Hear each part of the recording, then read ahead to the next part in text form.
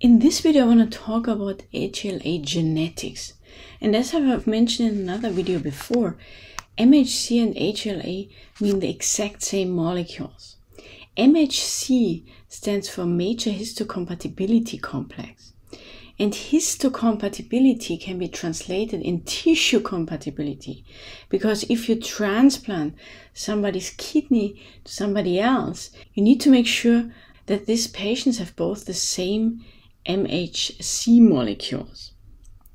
So these MHC molecules have, in addition to their role in antigen presentation, what I've discussed in another video, a very important role in tissue compatibility. And the reason for that is because these HLA molecules are unique to you. So they are like an identifier tag and they identify you as you.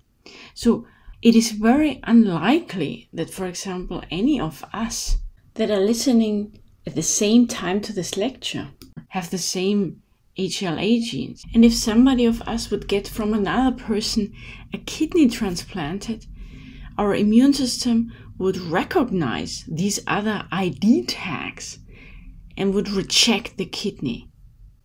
So there's a huge diversity. How do we get this diversity and why do we need it? And these are the two questions that I want to answer. So let's talk a little bit about genetics and isotypes. So for, for the MHC1 genes, there are actually three different isotypes. There's HLA-A, HLA-B, and HLA-C. And these are called the isotypes. So we can also put as a header genetics and isotypes. That's what we want to discuss. So isotype is by definition different genes that code for proteins with very similar functions. So they are all very similar in terms of their function. They can all do antigen presentation, but they are different, different types. So you can think about the MHC1 isotypes as being flowers. And here you have roses, tulips, and daisies. So just different kinds of flowers. Same for MHC2.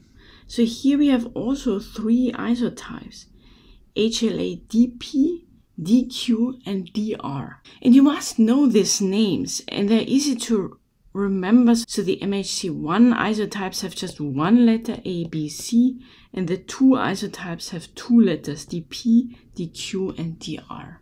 Now, in addition of having different isotypes, there are hundreds of different alleles for most of these HLA genes. That means that each individual, individual is most likely heterogeneous for each HLA gene. So just to recap, until now we have different isotypes, so we can say different types of flowers, roses, tulips, and daisies. But then we have 50 different alleles, so let's say 50 different kinds of roses, 100 different kinds of tulips, and 100 different types of lilies, and so on and so forth. So that gets us quite some diversity. And then we get one set of HLA isotypes from mom and one set from dad. So let's draw this out. So we have three MHC1 isotypes from dad, so A, B, C, HLA, A, B, and C. And there are many different alleles, so let's suppose we have A1, B15, and C27. And then for mom, we also have ABC, and there are also different alleles, let's say A5, B8, and C43. And we can draw the same out for the MHC2 isotypes, DP, DQ, and DR. So that's going to be from father, let's say DP10, DQ38, and DR32. And then from mom, let's say we get DP12, DQ25, DR21.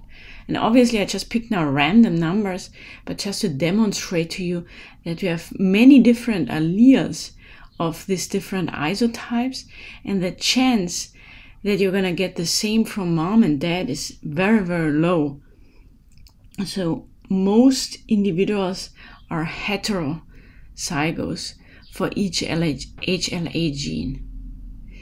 And also, if you wonder why I put here two boxes, well, for the HLA DP DQ DR, we actually have an alpha and a beta domain, and that's why I made them two boxes. Now let's just think about a scenario. So now let's just think what MHCs do our macrophages express? And let's think about this for a second.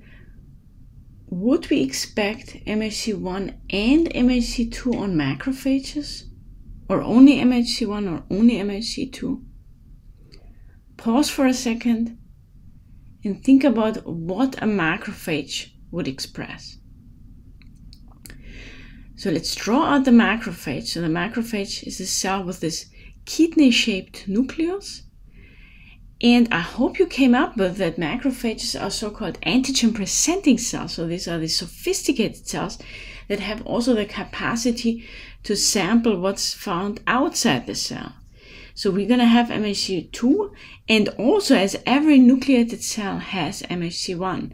So we will have the three different isotypes of MHC1, A, B, C from dad and then from mom. So we're going to express our macrophages are expressing a total of six MHC1 genes and then also six MHC2 genes. Now let's draw out the same for a neutrophil. Take a second and try to come up with it. So let's draw out the neutrophil. So the neutrophil has this trilobular nucleus. And now what types of MHC molecules would we expect on the neutrophil? I hope you all agree that we're only gonna see MHC1. So only HLA A, B, and C genes. Why? Because the neutrophil is not this sophisticated antigen presenting cell, so it's a cell like any nucleated cell that needs to alarm the immune system if it has been infected. So we only need MHC1 molecules. And again, there's always going to be three isotypes from dad and three isotypes from mom. Now we have discussed a lot about the diversity of these MHC molecules and again, we have three isotypes, and then there are many alleles. So most of us will be heterozygous for this MHC genes. But I didn't mention yet why this is so important that we have this diversity. Well, you can come up with it because I mentioned before that the MHC molecules are the ones that alarm the immune system. So let's suppose we are infected with a completely new pathogen. And that's what the world was talking now over the last one and a half years. We had a completely new pathogen, the coronavirus. So ideally, we want to have some MHC molecules that can present this coronavirus. And because we have so many different alleles, really the differences, the variations occur in specific locations nearby this binding groove.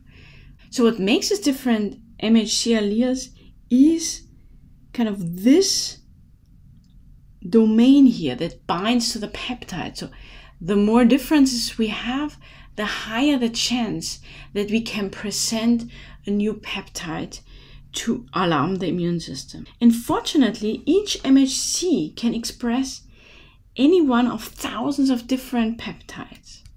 So I hope that underlined the importance of the diversity of these MHC molecules. And this concludes the video on MHC HLA genetics.